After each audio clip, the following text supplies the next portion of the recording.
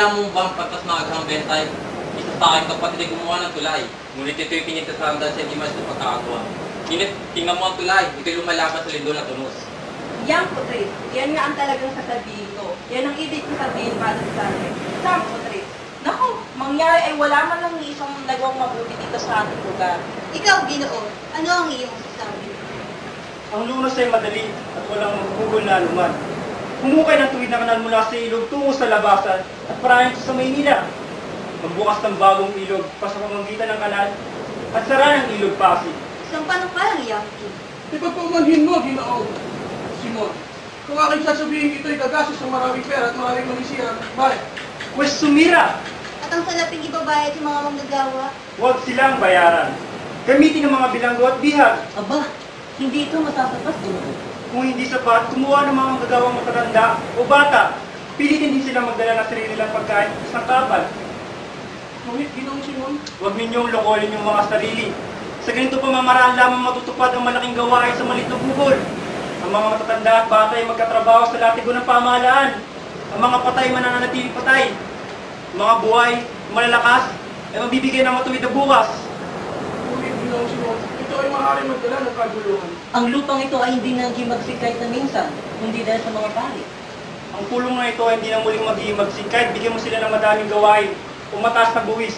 Padre Sibila, anong silbi ng mga praile kung ang bahay nito ay maghihimagsik?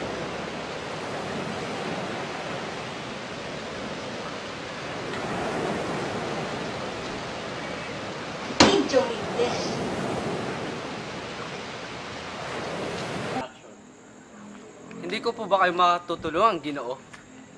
May labing tatlong taon na din na naghandog kayo sa akin ng pagdamay.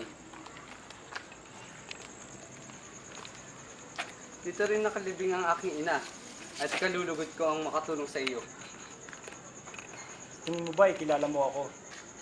Isang tao, isang taong dakila, isang taong akala ng iba ay patay na at ay, at nakaranas ng lubos na kasawian.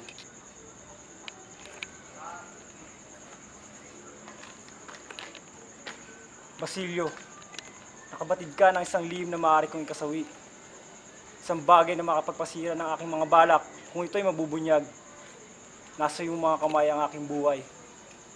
Dapat kitang patayin upang matahimik ang aking mga balak dahil masahol pa to sa isang buhay. Pero pababayaan kitang mabuhay at alam kong hindi ko to pagsisisiyan.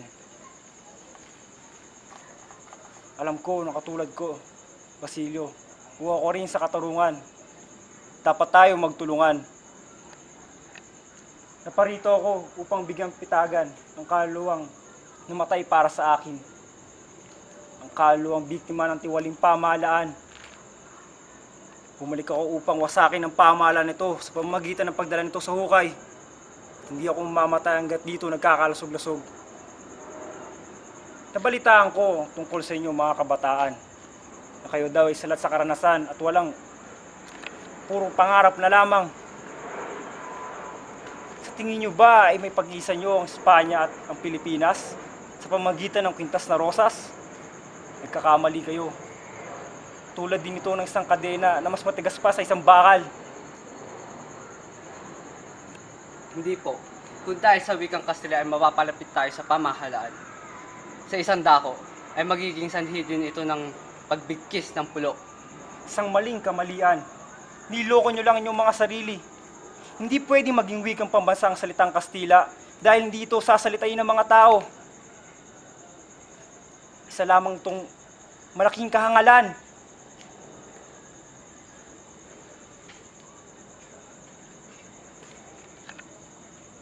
Ninais ko rin nalapitan ang iyong makaraig at si Sagani. Pinala ko din silang wasakin at lipunin. Pero kailangan ko ang tulong mo, Basilio. Sa pamamagitan mo, may papatid ko sa mga kabataan ng aking hangarin na mali ang landas na kanilang sinusunod. Ginoo, napakalaki ng karangalan ng ipinagkaloob mo sa akin. Pagtiwalaan yun sa inyong lihim at balak. hindi ako politiko o sinusuportahan ko ng kung na matutos ng Kastila sapagkat makakatulong ito sa aming pag-aaral. Ang tanging kong hangarin ay mag, mapagpagaling ng sakit ng aking mga kababayan. Hindi karunungan ang tunga ng mga tao.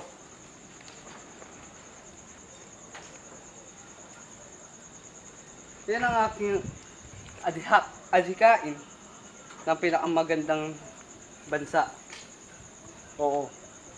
Ngunit upang mapustusan lamang ang kaligayahan nito, alam ko, Basilio, na kahit sabihin mo pa ito sa lihim, ay hindi mo ito pagsasabi kahit kanino man. Kahit ipagsabi mo pa ito sa mga mayaman at makapangyarihang tao, alam ko na sila lamang ang paniniwalaan nila. Sa araw man na dumating na nais mong tumulong sa akin, puntahan mo ako sa bahay ko sa eskolta. Doon ay paglilingkuran kita ng buong puso.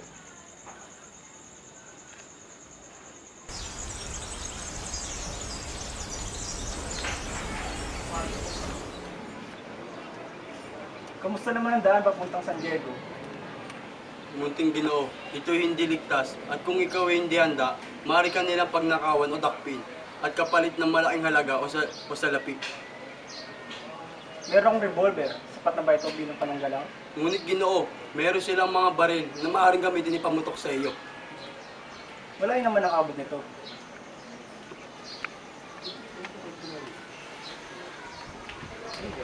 Oh,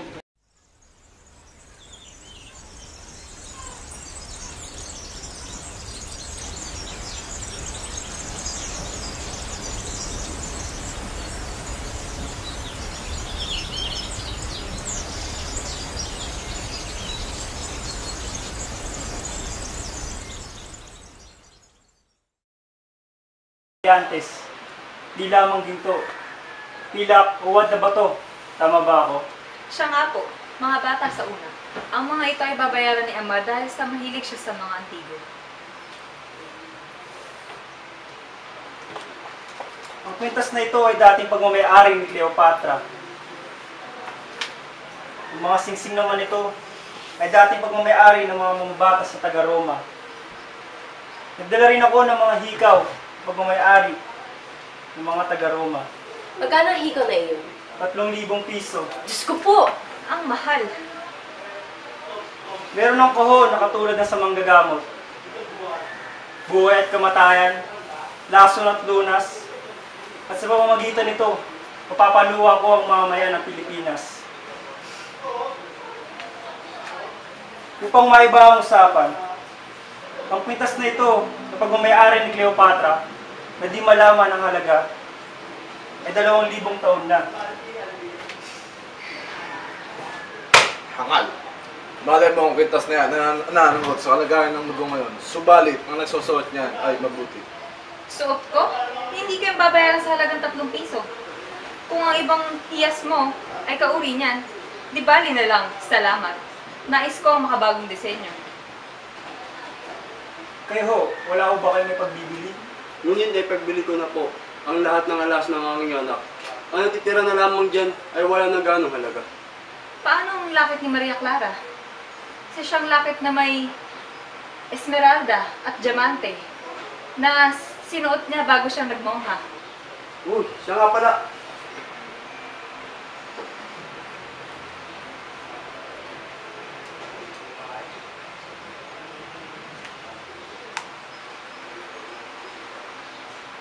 Ibig ko ang disenyo. Magkano mo ito may pagbibili? Pagbibili mo ba ito sa halagang 500 piso? Limandaan? Tama ka, 500 piso. O ang ibig mo sa ibig mo ay pagpalitan lamang ito sa ibang ako, Mili ka. kung ako sa'yo, itatago ko na lang yan. Si Maria Clara ngayon ay nasa kumbento, payat na payat na. Palagi siya nitignan ni Padre Salvi. Maaari na daw siyang mamatay na santa. Kaya siguro hindi tinago ni Julian imbes na isang la. Kung ako ay inyong tatanungin, maaari ko ba munang kausapin ang aking anak ko rito? At ako ay magbabalik bago, ma- bago magiling.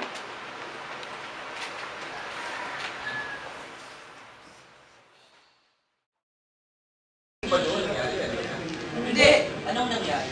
Ang lahat ng bisita ni Padre Mito, hindi sumagot sa Padre. Aba, sino na nga sa sumagot sa kanya? Si Placido Pinitente raw. Talaga? Nagdilim ang kanyang paningin ni Shane Magkahali. Ngunit, pinutusan sa buta ng tanong, ang mag-aaral ay iyon, salita at lumabas kapag di patapos sa klase. Ang may pinili mo, si Placido Pinocente, gagawan. Mga Ray? Anong nangyari sa iyong lakas? Ngayong labi lang sa tinaw ng kanya. Mabuhay si Padre Enrique. Kanyang pinabati ko nangyari sa Espanya. Pinagtanggol niya ang kumain natin. Upang natang tinatayo ng tila, palit ka natin. Ay niya Simon, ang mag-aalahan. Anong kinalaman niya sa mga bagay-bagay na? Tatawag na sana ang nakaibigan at bigyan mo tulog ng ilang buwan. Ang maalala na parang kayo, ang tungkol sa parang Ninakain na ang puso ng pagkain. Wait, matagal na hindi kumikilos ang lupot na yun. Yan ang aking nasabi. Nasabi ni Padre Inay, mabuti ito, upang pagka, mabuti pagkakataon ito para mabuhay at mga ating bukod. Sa ngayon, nakasalalay kay Don Custodio, ang ating balak sa isang barito. Eh, paano kung hindi pumayag sa custodio? Ang sinabi ni Padre, ay malaki ang ating tinamo at nagawa natin ang kalilingan ay may may umang sa isang kapasyahan. Kung bibilitan sila na tanggapin ang ating hamon, kung, makik kung makikip, mapakiling natin si Don Custodio na kumambit sa atin, ay panalo na tayo. Eh, paano natin makukuha ang pagkiling niya? Dalawang paraan ang sinagusahan ni Padre. Seryo? Isang mahalagang handog. Ah! Alam ko na! Ang mananayo na si Pepay! Siya nga! Si Pepay, ang mananayagan. Tignan natin ang isang paraan. Ang tayo lumapit kay Senyor Panta. Ibig ko iyan, kapagkat ang aking amain ay kamagdaray ng Senior Pasta. Unahin natin ang isang paraan. Sa paraang hindi mahal. At kung ako'y walang makuha, gawin niyo ang inyong balak.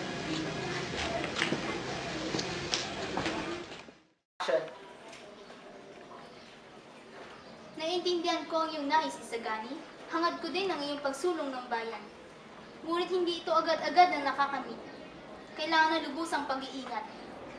Ngunit, hindi namin hangarin nalagay kayo sa kagipitan. At kahit kaunti lamang ang aking kaalaman sa batas, akala ko'y hindi magkakaroon ng kasamaan. Ang hadikain makatulong sa pamahalaan. At sikaping mapabuti ito. Ngunit ito'y sa ibang paraan lamang. Diyan nga ang suliranin. Hindi ba kapuri-puring tumulong sa pamalaan?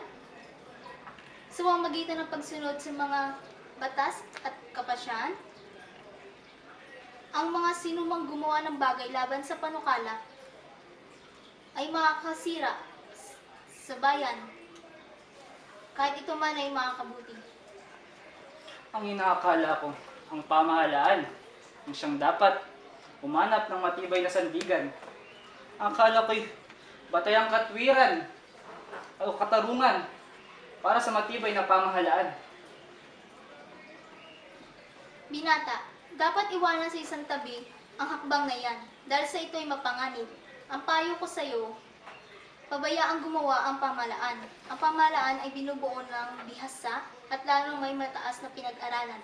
Dapat natin silang pagkatiwalaan. Ngunit sila'y tao lamang, maaring magkamali. Dapat nating pakinggan ang kuro-kuro ng kapwa. Maliban pa dyan, may kasabihan tayo. Ang hindi umiling, hindi bibigyan. Taliwas iyan sa pamalaan. Paumanhin, ang mamamayan na umihiling na naayon sa batas ay naniniwala sa pamahalaang mabuti. Kung ang bayan ay nasusuklam sa pamahalaan, ay wala na silang dapat ibang hilingin, kundi iwan ito. Kakaunti pa lamang nalalaman sa buhay. May mga bagay na hindi ko dapat may paliwanag sa inyo dahil ito ay sobrang maselan. Kung gayon, kami ay, Kayo mga marunong magsalita ng Kastila, ano mapapala ninyo kung mangimasok pa kayo sa gulong ito? Hindi ako naparito para sa aking sarili lamang, kundi para sa mas lalo pang nangangailangan.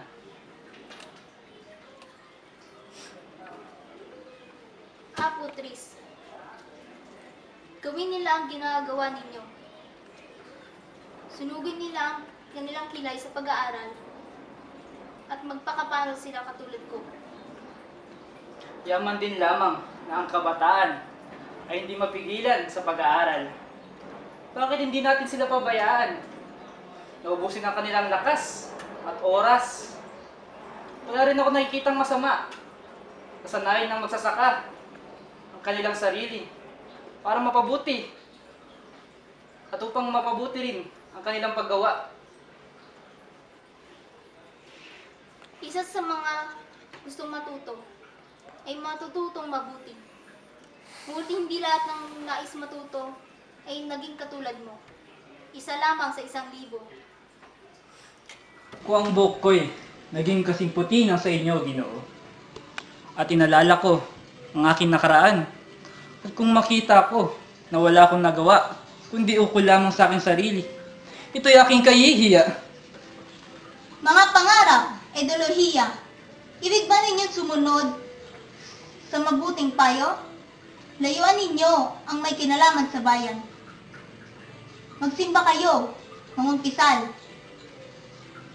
At kayo'y makinabang, gayon din ang ginagawa ng iba. At pagkatapos ng lahat ng iyon, kayo'y magpapasalamat sa akin.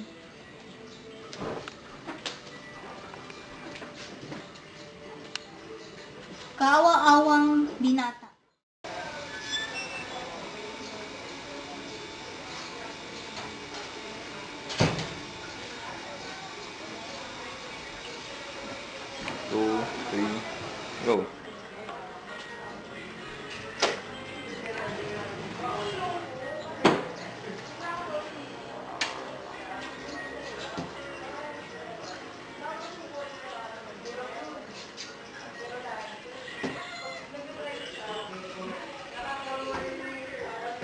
Kumusta ang pasyente, Basilio? Malubha. Ngayon ang hina ng puso. Halos hindi tumitibok ang puso at walang gawin kumain. Maaaring mamatay siya bukas sa makalawa. Tulad ng Pilipinas. Kung lalo na pagpahina sa kanya, ay ang bangungot at takot. Tulad din ng pamahalaan. Isang gabi, nagising siyang walang ilaw. At akala'y nabulag siya. Nagsisigaw, nagmumura. At nung pumasok ako na may dalang ilaw, pinagkamalan niya ako si Father Erne at sinabi, ako daw ang kanyang tagapagligtas. Kinig ka, Basilio. Ang bawat oras ay mahalaga. Hindi ko man lang nakita na binabasa mo itong librong binigay ko sa iyo. Wala kang malasakit sa iyong bayan. Sa loob ng isang oras, ang paghimaksi ay sisiklab. Bukas wala ng universidad at tayong kamatayan lamang ang iyong masasaksihan. Bumalik ako dito sa dalawang kadailanan. Ang kamatayan o kinabukasan mo! Kamatayan ang kinabukasan ko? Sa gobyerno o sa amin? Sa panig ng mga umupi sa'yo o sa panig ng bayan mo? Sa panig ng umupi o sa panig ng bayan? Nasa kamay ko na ang pamalaan yon, Basilio. Ngayon, magpasya ka. Ano ang gagawin ko? Sapagkat ako na ngayon ang mumuno sa paghimagsik. Pinakiusap ko sa'yo na sulitin mo lahat ng pagkakataon. Kumuha ka ng isang pangkat at lusubin mo ang Santa Clara. Doon ay kukunin mo ang isang taong ikaw lamang nakakakilala bukod kay Kapitan Tiago. At yun ay si Maria Clara. Huli na kayo. Anong ibig mong sabihin? Patay na siya. Hindi! Buhay pa si Maria Clara! Liligtas ko siya mamayang gabi! Isang araw siya may sakit. Madalas ko siyang dalawin sa kumbento para manalitaan. Narito, basahin mo ang sulat ni Padre Salve na inihitid ni Padre Rene. Magdamag umiiyak si Kapitan Tiago. Hinahagkan ang larawan ng anak.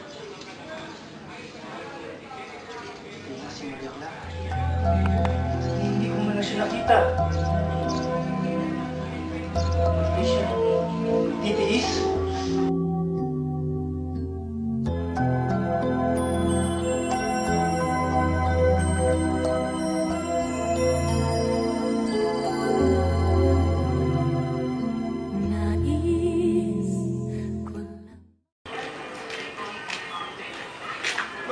Ano ba? Nagpunta ka ba sa Peking kagabi? Hindi po, kinakailangan ko ba tayo sa kapinsyan? Mabuti. Ngunit kasapi ka ng organisasyon, di ba? Nagbabayad po ako ng bayad sa organisasyon. Hmm. Kung ganon, umuwi ka ng maaga at sirain ang mga ebidensya ang nagdatawid sa inyo. Ano ba nangyari? May mga nakakita daw sa universidad ng mga nakapaskil o poster tungkol sa mga mapangkimagsik. Ang mga mga nakuhuli daw ay binibilanggo at binabagsak sa pag-aaral. Ganun po ba? Sige po, salamat po. So, Sige, mag-ingat kayo.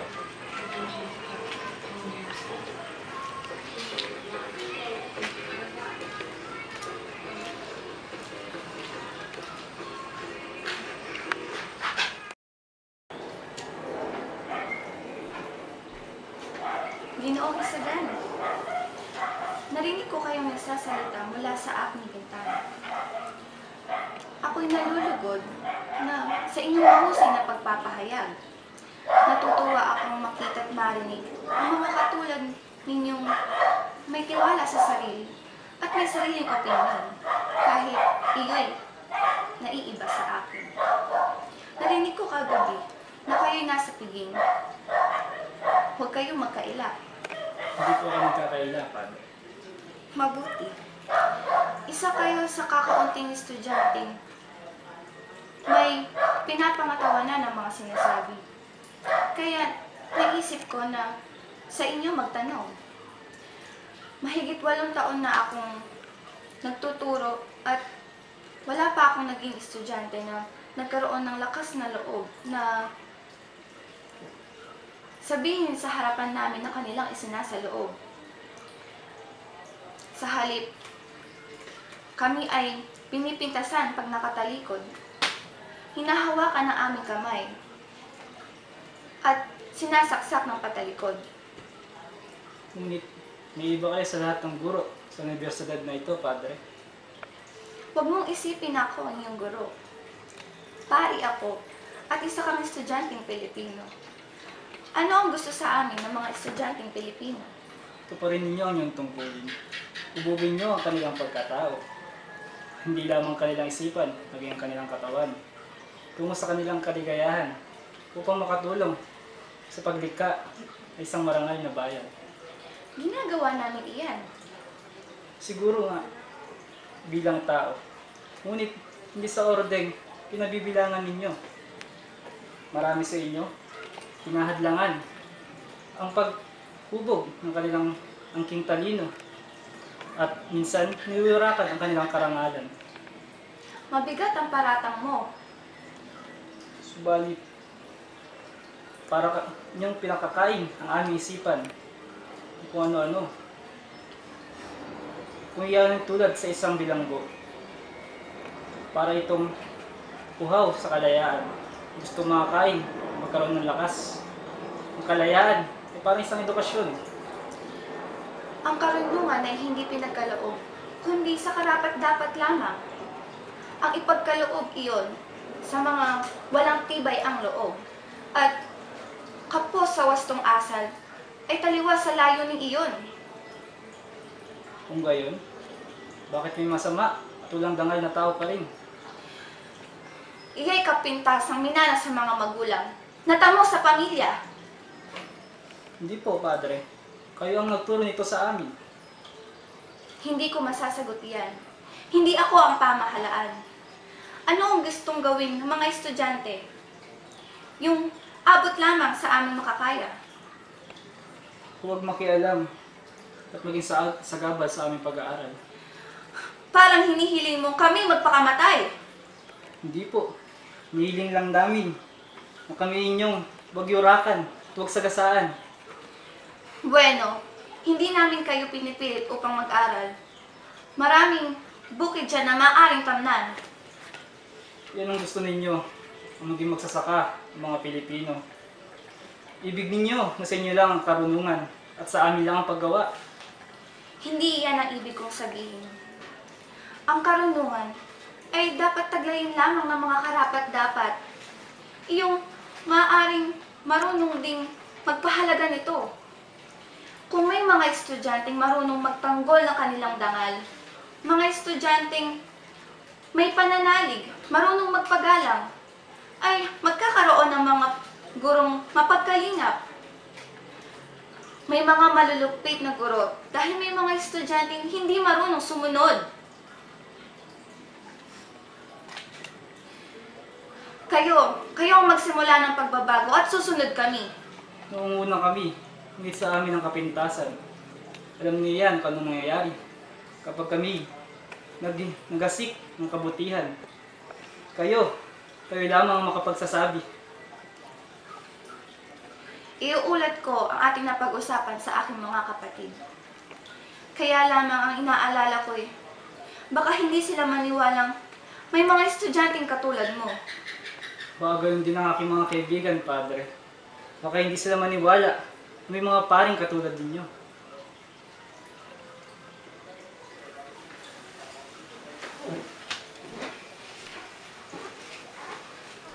Kaawa-awang binata. Kinaiinggitan ko ang mga hiswitang nagpalaki sa kanya.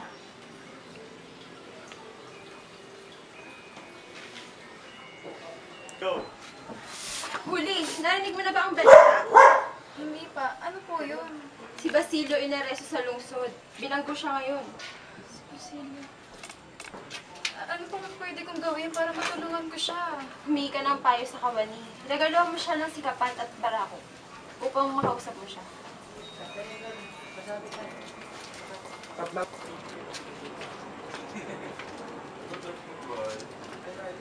Huwag kang matakot, Huli. Ayon sa aklatitan ng basyong maulat, ang mga dalagi talagang pumupunta ng kumbento upang maikwento nila ang mangyayari sa kanilang buhay. Ngunit, bababayaan mo na lang bang itapon na si Basilio? Huwag kang mag-alala. Walang gagawing masama si Padre Gamora kapag ako'y lahat.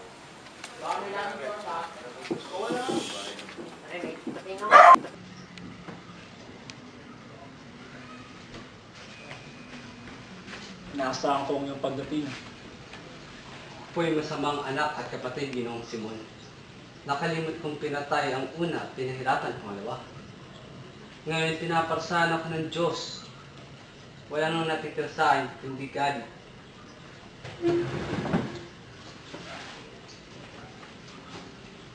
Nung nag-init, nung nag-init ang himagsikan, hindi ako nakialam. Nabilanggo ako nang hindi nakikisali. Kung nakalaya man ako, ay dahil sa inyo. Ngayon handa na akong maglingkod sa inyo kasama ang lahat ng sawing palad. Tama talaga ako. Nasa panig ko ang karapatan at matuwid dahil ang tinutulungan ko ay ang mga sawing palad. Salamat. Salamat, binata. Iniaalis mo ang maaga ang mga bumpo. Ngayon alam ko na ang dapat kong gawin. Nabigo ang samahan dahil ako'y urong sulong. Patay na ang puso ko. Iwala na akong pangarap. Pareho lang tayo. Ngayon, ako ang kilos mula sa itaas at ikaw naman ang si baba. Magasabog ako ng kamatayan sa gitna ng bango at rangya. Gisingin mo ang mga kabataan sa gitna ng mga dugo. Mamayang gabi ay magkakaroon ng piyesta. Ang lamparang ito ay ilalagay sa gitna ng kiyokong kainan. Kapag inayos lang siya ng lampara, ito ay sasabog at walang makakaligtas kahit sino man. Sa mga tuwid, po'y hindi na kailangan. Iba ang iyong gagawin. Kapag narinig mo ang putok, lalabas sa mga artilyero kasama ang mga kawal.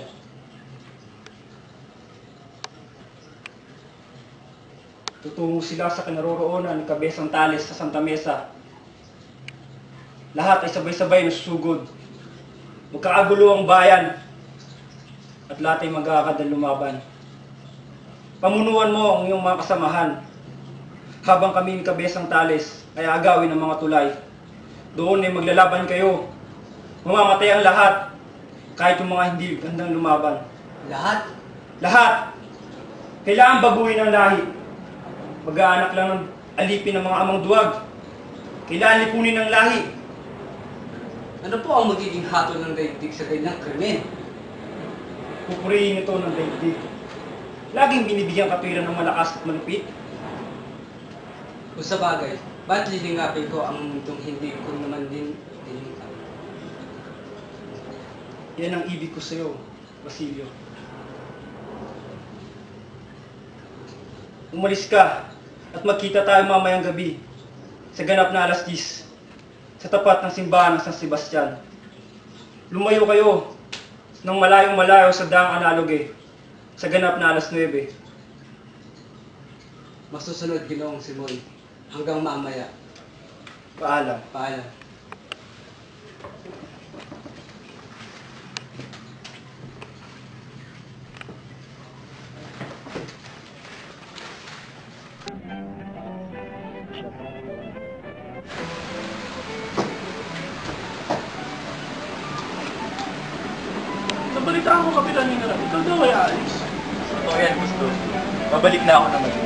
Tagal na panahon din akong ginakawi sa aking minamahal.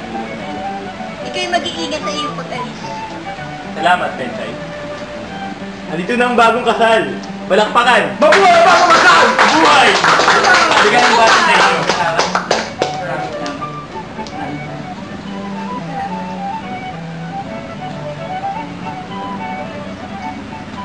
Ako, Halikahin ba? tagal-tagal. Salamat.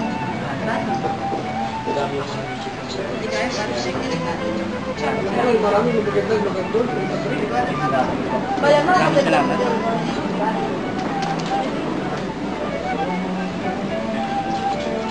Maligayang ba? Magandang gabi, Simon. Kapitan General, magandang gabi. Kumusta ka? Ayun, pabalik na ako sa Madrid bukas ng umaga. Kamusta na ang iyong magbebenta ng mga ala dito sa Pilipinas? Hindi na naman, Kuberto General. Ang mga marapati mo ay lalagay mo lang bandaro. Sige lang.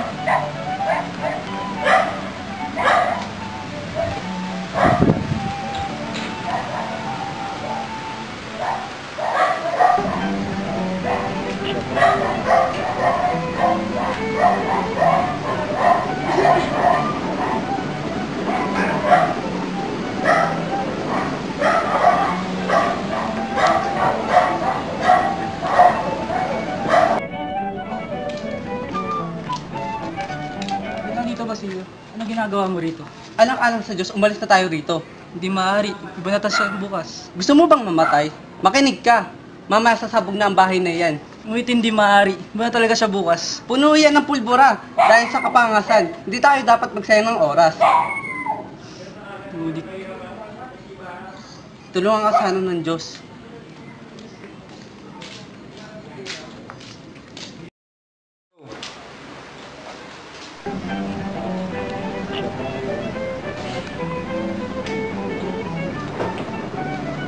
May liham.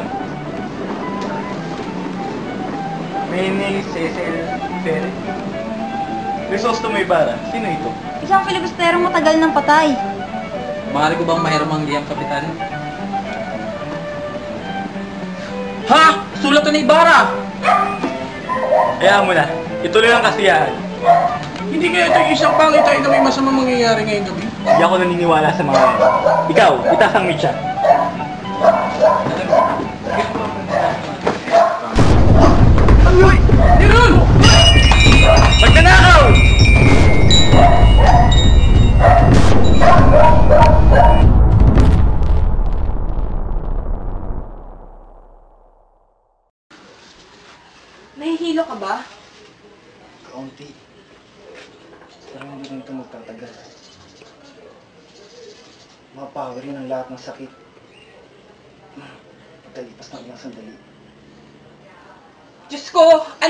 ginawa?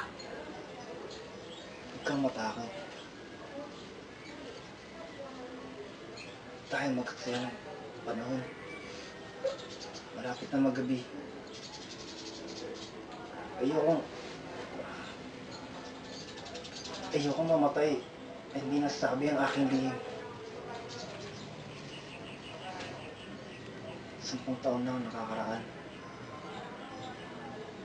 Ang tawag nila sa akin ay Crisostomo Ibarra.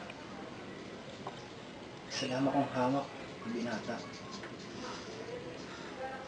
Na walang hinangad kundi ang mabubuti ang kanyang bayan.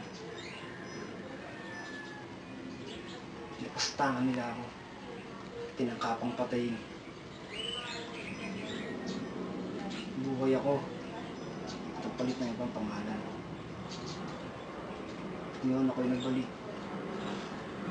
Upang, ganti. Patawarin nawa kayo ng Diyos. Batid niyang kayo ay anak sa pagkakamali at sa kanyang pagdarausa sa kamay ng inyong mga inudyukan. At ngayon, nakikita niyo na ang paghihirap dahil sa inyong pagkakasala.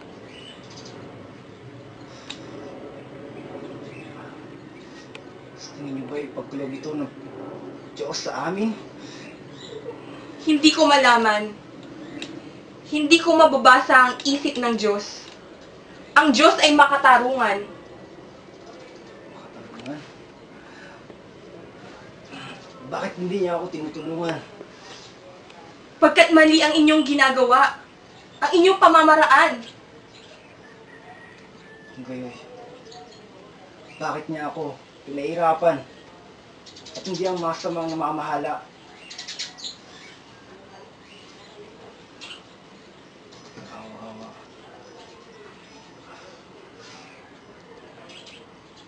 Kailangan alugin at basagin ng lalagyan upang humalimuyak ang pabango. Kaya nga sinuwan ko ang kalupitan.